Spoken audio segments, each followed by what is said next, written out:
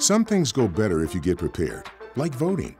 You've already pictured yourself voting on election day, right?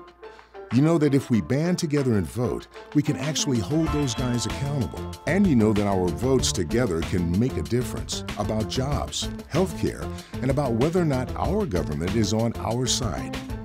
And that when we vote more, the insiders count less. Now, you may have heard that some politicians are trying to make it harder to vote. Well, that's true, and we all need to fight back against them.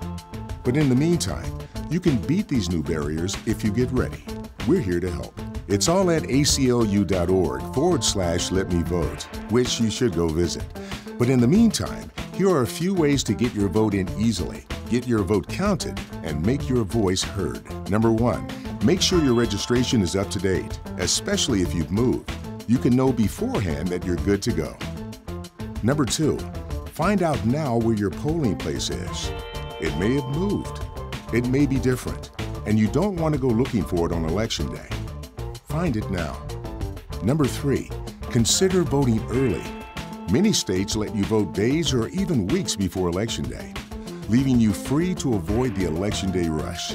If you bank your vote, you get ahead of the game. Number four, find out if you need an ID. Some states ask for one now. Make sure you have one that's valid. You can learn that here too. Number five, and most important, if anyone challenges you about voting on election day or before, don't get mad. Get help. Get on the web, and we'll have your back. So, don't just show up. Get ready and make your voice heard.